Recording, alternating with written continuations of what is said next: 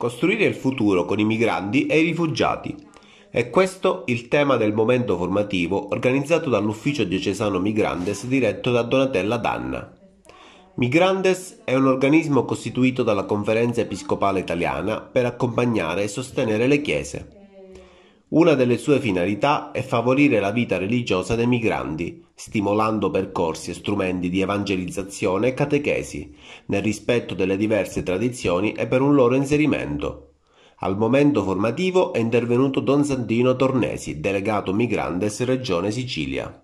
Generalmente ogni ufficio diocesano ogni anno deve dedicare uno spazio diciamo, convegnistico. A me piace chiamarlo momento formativo perché ritengo che sulla tematica dell'immigrazione e della mobilità umana ci sia bisogno di tanta informazione e formazione. Il tema è dal per al con, che è il, il titolo dell'ultima giornata mondiale del migrante e del rifugiato, che ci invita un po' a cambiare eh, il punto di vista mh, di come guardiamo eh, gli stranieri, i migranti, perché mh, quando parliamo di fare qualcosa per Presupponiamo che noi siamo quelli bravi, buoni, belli, preparati, abbiamo qualcosa in più e il migrante il destinatario di una nostra azione, magari assistenzialistica.